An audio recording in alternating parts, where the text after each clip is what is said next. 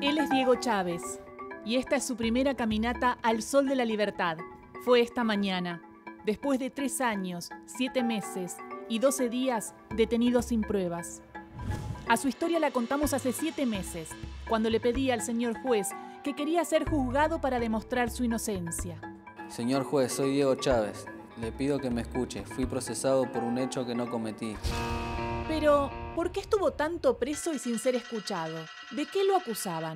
Recordemos el caso. El 6 de noviembre de 2015, a las 8 y media de la noche, dos delincuentes entraron a la casa de Fernández, en la localidad de Moreno, con el objetivo de cometer un robo. El policía se resistió y defendió a su familia.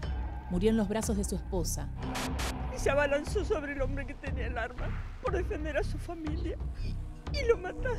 Lo mataron de la peor manera. Los asesinos huyeron sin robar nada. Para esclarecer el crimen, la justicia contó con una sola testigo, la mujer de la víctima. Chávez fue detenido seis días después, en la casa de su novia, también en Moreno. Diego Chávez estuvo preso por no ser escuchado por la justicia en la etapa de instrucción. Sus abogados pidieron que declaren sus testigos, pero no lo llamaron. Pidieron prisión domiciliaria, pero no se la otorgaron. Ayer, 24 de junio, llegó el día que había esperado desde que empezó su pesadilla. Y así entraba a los tribunales, alentado por sus amigos y su familia. Diego iba a ser escuchado, en un juicio que iba a durar tres días.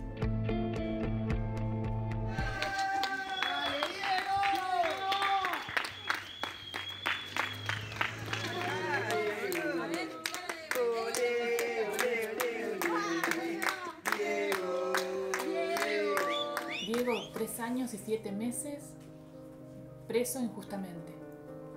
Casi cuatro años preso, sí, justamente.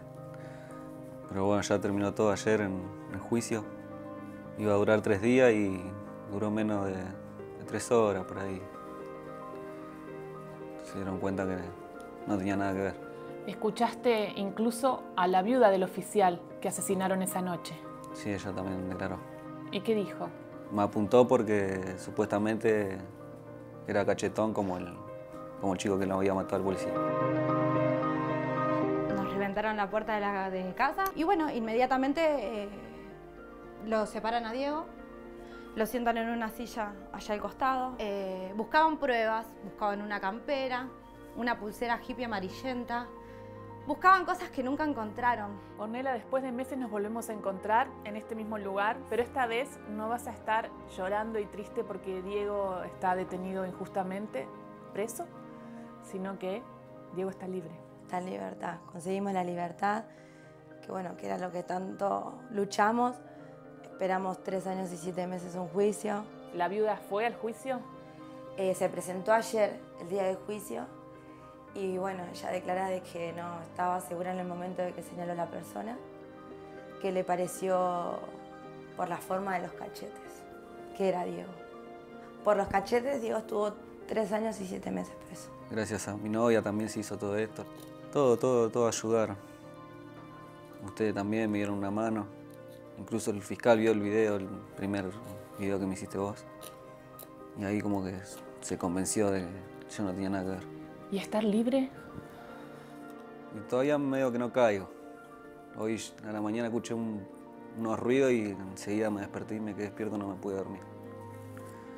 Por así, viste, a la mañana cuando iban a las puertas, escuchar los ruidos de candado y ya te levantás al toque.